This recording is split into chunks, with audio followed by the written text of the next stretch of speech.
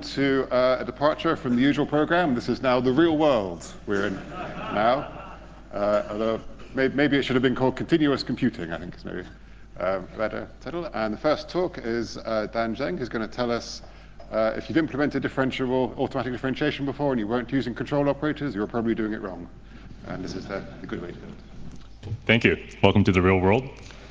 So my name is Dan Zheng. Um, today I'll be presenting demystifying differentiable programming.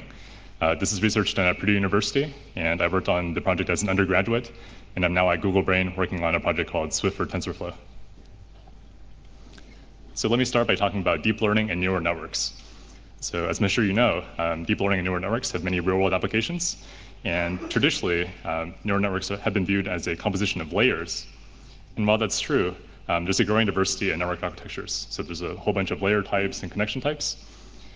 So things seem very complicated. But in fact, all of these neural networks are just parameterized functions. They take in some input x, return some output y, and are parameterized based on weights theta.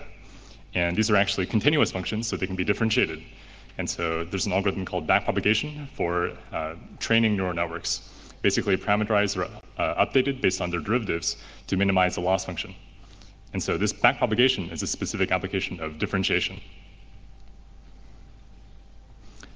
So as the PL community is um, becoming more interested in deep learning, there's been a trend towards differentiable programming.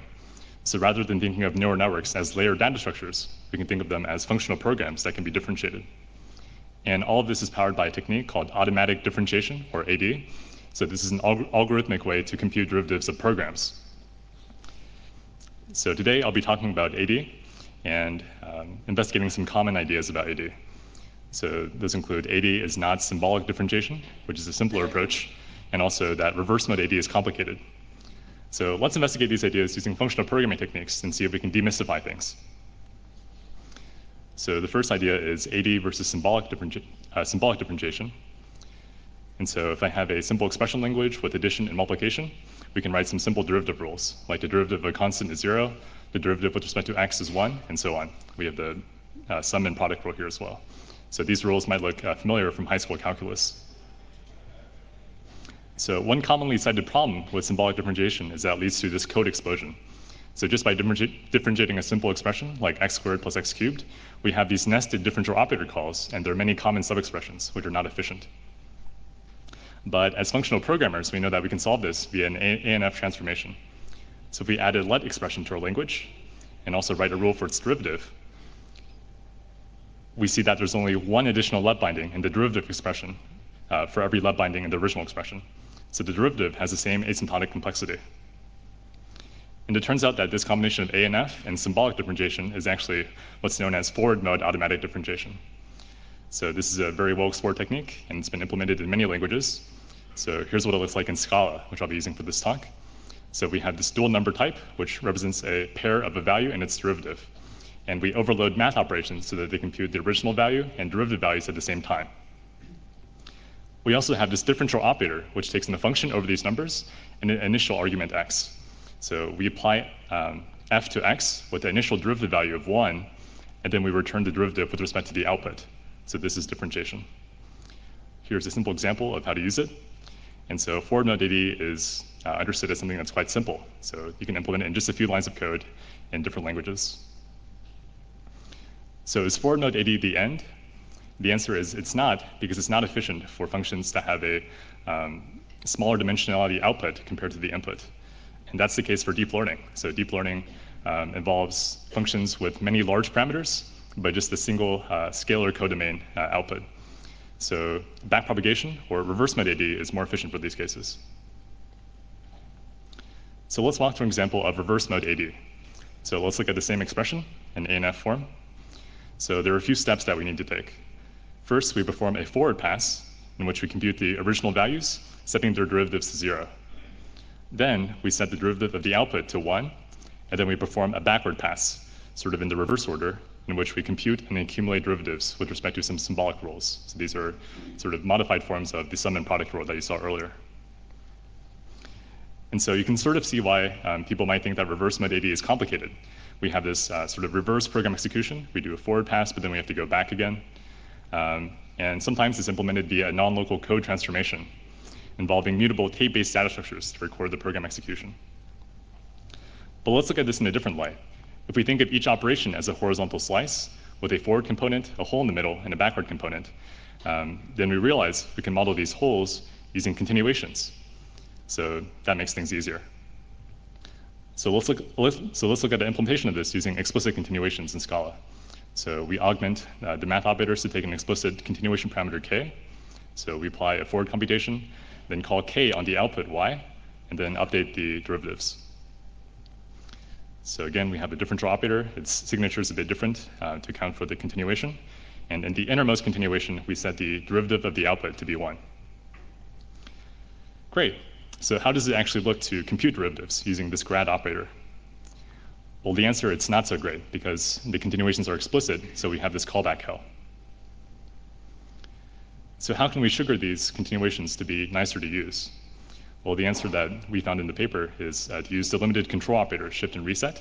So these are well explored and available in many languages like Scheme and OCaml, and also in Scala via a type-directed selective transformation. So we have this type annotation, um, A at CPSB. Basically, this is used uh, by shift and reset to, uh, well, this basically keeps track of the shift and reset operators. So you can use, so shift can be used anywhere um, where a value of type A is expected, but it must be within a reset context of type B. So here's what um, a different implementation looks like using delimited continuations. So the operators now use shift, which provide the continuation. And the differential operator now uh, uses this type annotation and sets the uh, derivative of the output to 1 within a reset block. And this allows us to go back to the normal syntax. So this is great. We solved the usability problem. And so that's sort of uh, one of the themes of the paper. Um, reverse mode AD is really um, using shift and reset um, along with symbolic differentiation rules. So since this is the real world session, uh, what about the real world performance of this approach? So to explain that, let me talk briefly about some existing deep learning frameworks which implement reverse mode AD. So some frameworks like PyTorch are dynamic and they're, they are this interpreter-based approach. So operations are dispatched eagerly. When I call x plus x, um, the addition operation dispatches immediately. Other frameworks like TensorFlow are a more static and compiled approach. So users explicitly build up this graph of operations via DSL and then run the graph explicitly. So traditionally, this approach has led to more optimizations because the graph is like a whole program. So you can do whole program optimizations like operator fusion. So this sounds a lot like multi-stage programming. Um, we're building a static program, then optimizing it, and then applying dynamic inputs to it. So if we realize that TensorFlow is really just multi-stage programming, then we can apply more generic multi-stage programming techniques to achieve the performance of TensorFlow uh, while gaining more expressivity. And so uh, that's what we did in the paper. So we used a multi-stage programming technique called lightweight modular staging in Scala, which is a runtime code generation approach. So uh, the key thing here is this rep type constructor. Rep stands for representation, and it's a stage computation of some type. So rep, rep expressions are lowered directly in the generated code, but non-rep expressions are basically evaluated at compile time and they become constants. So this is a form of partial evaluation. So our meta language here is Scala, and our target language is C++ and CUDA for performance. So since we formulated reverse mode AD using shift and reset, a natural question is, does the target language need to support shift and reset as well? And the answer is no, because multi-stage programs uh, that use continuations at generation time can generate code in CPS. Basically, we can use shift and reset in the meta language, but we'll generate code in CPS in the target language. We also explored some alternative transformations of the paper, but uh, I'll focus on this approach for now. All right, so so far we focused on AD on just straight line code, um, just addition multiplication. But in practice, neural networks make use of control flow. So there are conditionals for piecewise computation, loops for repeated computation, and even general recursion uh, for algorithms like tree traversals. So this is useful for um, traversing over tree data structures like sentence parse trees or ASTs. So we need ways to differentiate these as well. So before I get into the rules, I want to introduce some notation. So this is our language. It's a lambda calculus with tuples, with mutable references, um, with some types and case expressions, as well as shift and reset. In the upcoming slides, you'll see overlines representing meta-language uh, constructs and underlines representing target language constructs. And this curly D operator is the reverse mode AD transformation. So here's the rule for conditionals. Um, we can represent conditionals as basically case expressions over a Boolean sum type. And so here's the transformation rule for case expressions. So this is actually not an innovation from our paper. Um, it's explored in the original paper by Danvy and Filinski uh, regarding a two-stage sort of CPS transformation. So basically, uh, it looks kind of complicated, but it's basically CPS conversion and a meta language that supports shift and reset. So shift provides us with the continuation k. Um, we're generating that as a dynamic function uh, to avoid code duplication, and then we're applying it to each branch of the case expression. So from, this, from these rules, we derive this code directly. So if takes a condition, a Boolean condition, as well as if and uh, else branches, and it matches up with the rules. Next, let me talk about loops. So we all know that we can represent loops using tail recursive functions. And so um, that's what the rule here shows. We have LUT f, and the body is a self-application of f. And again, we derived the code um, in a straightforward way. So we did the work in the paper, but um, so you can read the paper for more details. So finally, let me talk about functions and general recursion. So we need some utility to produce stage functions in CPS. And so the main thing that's going on here is we're generating a function with a proper continuation argument, k1. And when we return from the function, we invoke the continuation. So here are the formal rules again. So we can use this uh, fun utility to implement a differentiable tree traversal with initial value, a tree structure, and a function for composing values from the tree. So I wanted to show an end-to-end example of how our, our approach works. So here's, um, we're getting the gradient of a while loop, where the condition is checking to see if the original value is greater than one, and the loop body is multiplying by a half. So if we inline grad and while, uh, we get this code. You can see the recursive function loop and this, gener and this generates uh, the following CPI, uh, the, this generates the following C++ code. So it's pretty straightforward. Notice that rep is a compile time uh, sort of concept, so it's uh, compiled away, and all we're left is with is these uh, tuples of basically uh, original value and immutable derivative value. So now let's put things together to see how this works for deep learning. So to scale up to deep learning, we need to represent the main data of deep learning, which is these n-dimensional arrays, uh, which have a shape of dimensions as, and also data of that shape. And to make it differentiable, we basically use the same value derivative pair. And we can define operations on tensors in the same way. We evaluated our approach in a deep learning library called Lantern, which is available on GitHub, and we implemented some representative real-world deep learning models that involves uh, some baseline models like ResNet 50 and SqueezeNet for image recognition, as well as a complex model, uh, DeepSpeech2, for audio speech recognition, as well as a recursive neural network that uses a sort of tree traversal. And we compared the performance versus some popular deep learning libraries. So here are the results. Um, it turns out that Lantern is as fast or faster for these models um, compared to popular frameworks. So it's about the same for SqueezeNet and ResNet. It's a bit faster for DeepSpeech compared with PyTorch because of some better uh, choices of kernel functions. And it's significantly faster than PyTorch for TreeLSTM, which is the sort of complex model using uh, recursion. Here's a quick comparison with some previous approaches to reverse mode AD. So there are some tape-based approaches that use explicit tape to record operations in the forward pass. So this explicit tape, uh, we showed a correspondence with a defunctionalized version using function composition in the paper. Many approaches also return a backpropagator function instead of taking it as a parameter. But if we take it as a parameter, we can um, use some nice property of CPS, so we can uh, allocate intermediate values in the stack. Uh, recently, there's also this paper called uh, Compiling to Categories, which formulates automatic differentiation using um, an algebraic language from category theory. And this is some really nice properties, like a nice unification of forward and reverse mode. But um, yeah, so I think um, reverse AD as continuations in our paper might be more accessible to ordinary programmers. So you know, even JavaScript programmers use callbacks. Here's some other explorations in the paper. Um, so it's possible to do higher order differentiation using multiple levels of continuations. Um, we can also do nested differentiation if we tag the derivative values. And it's possible to use a, full, a, purely functional derivative update instead of mutation, but it turns out to be a bit more uh, complicated since continuations may update uh, derivatives for more, than, for more than one value. So some future directions involve more tensor IR level optimizations, which we didn't pursue at all, but these are used in um, practical deep learning compilers. We can also add shift and reset to our IR for more natural higher order differentiation. And we can also do some more performance engineering.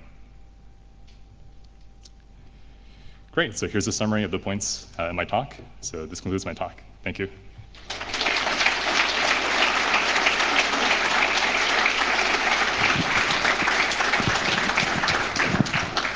okay, thank you. Uh, let's take a first question from online. Uh, so it has been said that algebraic effects and handlers are um, a nicer way of doing limited continuations. Can you use algebraic effects and handlers instead of the full power of shift and reset? I see. Um, I think that might be the case, yeah. Although I'm not too familiar. Yeah. Are there any questions from the floor?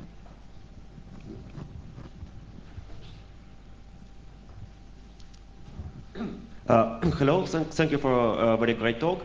Uh, on the slide where you showed uh, conversion to C++, um, I've noticed that um, you compile your loop to explicit recursion in, on C++ lambda.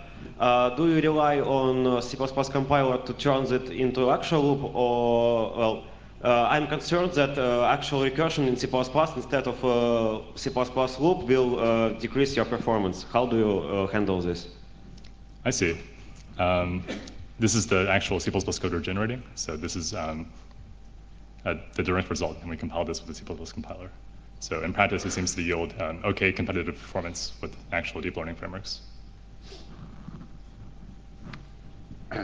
Okay, there's a slightly related question. So the translational while loop is a recursive function, but it doesn't look tail recursive. Is that a, an issue in practice?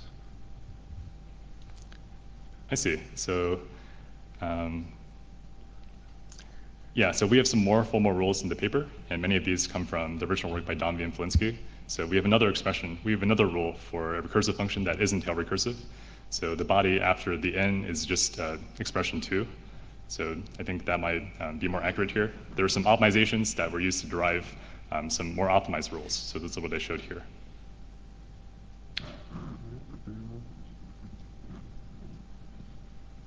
Okay, I'll take another online one. Uh, is stack allocation of intermediates also possible when loops are used? Do you not risk turning time consumption into space consumption? Could you repeat the first Yeah. Uh, is stack allocation of intermediates also possible when loops are used? So I'm not, Yeah, I believe so. uh, does this not risk turning time consumption into space consumption? Um, it seems not in practice. Okay. Yeah, but theoretically, I think that might be a problem. And so another online one. So I believe a similar paper appeared at NeurIPS this year. If, if someone's read that before, could you explain the difference? Why should they read this paper as well? Yeah, so um, there are some new developments for this paper, mostly um, more formalizations of rules for a PL audience. So we explained all of this on Lambda calculus instead of just on Scala. And there's also more extensive uh, evaluation and actual GPU implementation. So it's not just a prototype anymore.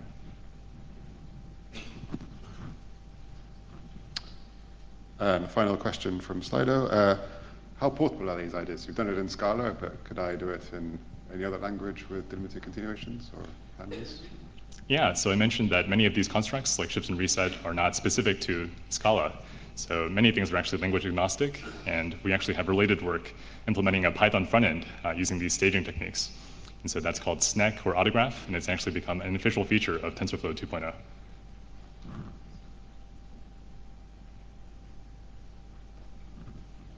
Okay. Let's uh, thank the speaker again.